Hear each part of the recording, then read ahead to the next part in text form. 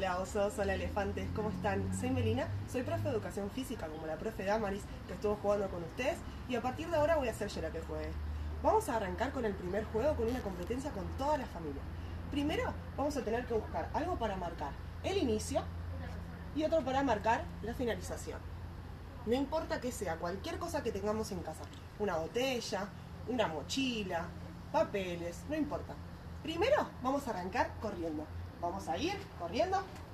Llegamos, volvemos corriendo. Y el que llega primero gana. También, ¿cómo vamos a hacer? Saltando, con los pies. Vamos y volvemos.